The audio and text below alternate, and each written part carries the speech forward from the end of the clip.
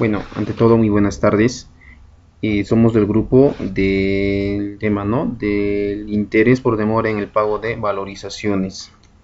Eh, para este caso vamos a trabajar un ejemplo, un ejemplo práctico del cómo se calcula el interés por la demora, ¿no? Eh, bueno, nosotros somos los siguientes integrantes, como se ve en pantalla. Ya, vamos, aquí el ejercicio de aplicación. Bueno, nos dicen, la valorización del mes de noviembre el del 2010, ¿no? de un contratista ascendente a la suma de 285.800 soles fue pagada el 14 de enero del 2011. Calcular su valorización.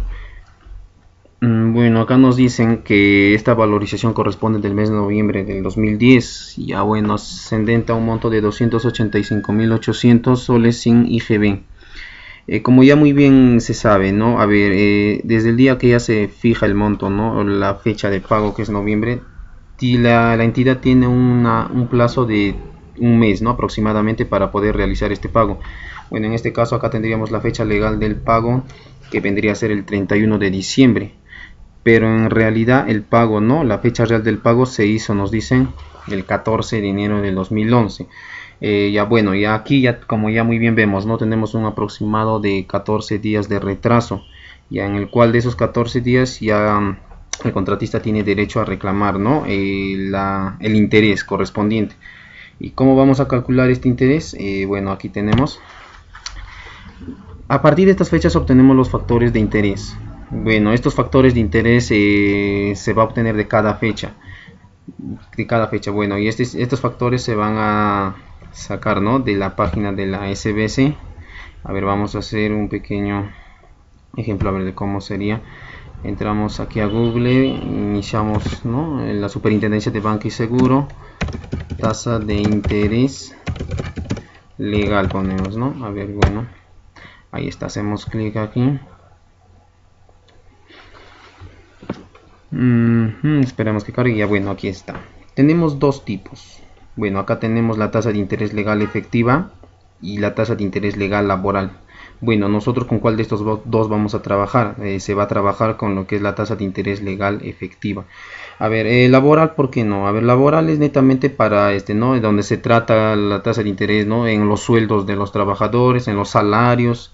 Y esta de acá es no capitalizable, ¿no? Eh, bueno, entonces vamos aquí arriba, no nos corresponde. Mm, a ver aquí está.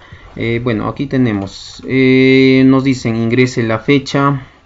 A ver ingresamos nuestras respectivas fechas. Acá tenemos no el 31 de diciembre del 2010 a ver escribimos por aquí.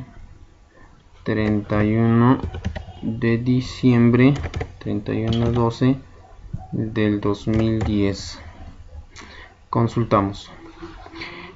Eh, aquí tenemos el factor acumulado sería, ¿no? Bueno, acá lo que tendríamos el factor acumulado sería 6.16515. 16.515. Bueno, acá tenemos en moneda nacional, en moneda extranjera. Este, este factor es sencillo, ¿no? Solo al insertar la fecha aquí ya obtenemos estos factores. A ver, y estos factores, bueno, en este caso para la fecha del 31 de diciembre me dicen que es 6.16515. Eh, bueno, aquí lo tenemos, ¿no? 6.16515. Igual, para lo que es eh, para el mes, este, ¿no? La fecha real del pago, que fue, me dicen que el 14 de enero. Igual, ¿no? Insertamos por aquí. 14 mm, de enero 01 14 del 2000 bueno ahora es del 2011 eh, consultamos igualito no aquí está eh, tenemos el factor acumulado de 6.16947. 6.10947. Bueno, es de esta manera como se obtienen los factores, eh, los factores acumulados, ¿no? Para cada caso. Ya esto depende de la fecha nada más. Y acá escribimos la fecha en el cual es la fecha real del pago y la fecha legal, ¿no? ¿Para qué nos sirve eso? Bueno, a partir de estos factores nosotros vamos a poder reemplazar en nuestra fórmula. Aquí hay una pequeña fórmula, eh, vamos a seguir avanzando Ya, bueno, es una pequeña demostración ¿no? de lo que se ha entrado ahí. Bueno, aquí está. Eh, para para ¿cómo, ¿cómo obtenemos nosotros el factor de interés? El factor de interés netamente se va a obtener con esta pequeña fórmula que dijimos, ¿no? Tenemos el factor acumulado de la tasa de interés legal del día de pago, el factor del día de pago, y por aquí abajo, ¿no? El, el factor acumulado de la tasa de interés del último día que debió pagarse. Ya, y todo ello menos 1. A ver, vamos.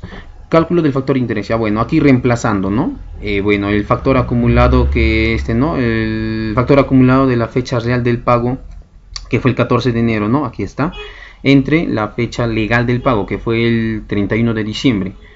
Y menos 1. Bueno, aquí tenemos el factor que nos sale 0.0007. Eh, bueno, a partir de este factor, ¿no? ¿Para qué nos sirve este factor? Para poder calcular ya netamente nuestro monto de interés. A ver, hacemos, basta con hacer una pequeña multiplicación. El monto total que nosotros teníamos, en el cual fue 285.800 soles, por dicho factor, ¿no? Que en este caso el factor ya ahí está, ya se ve en pantalla. Al multiplicar tenemos nosotros el monto de interés de 200.06 soles, sin incluir IGB, ¿no? Ahora, si nosotros queremos incluir IGB, ya bueno, sacaríamos el 18% y ya, pues eso sería, ¿no? Eh, bueno compañeros, eso fue todo, eh, una pequeña demostración ¿no? de cómo se obtiene cómo se obtiene esta tasa de interés, ¿no? Mm, bueno, eh, sin más, me despido, muchas gracias.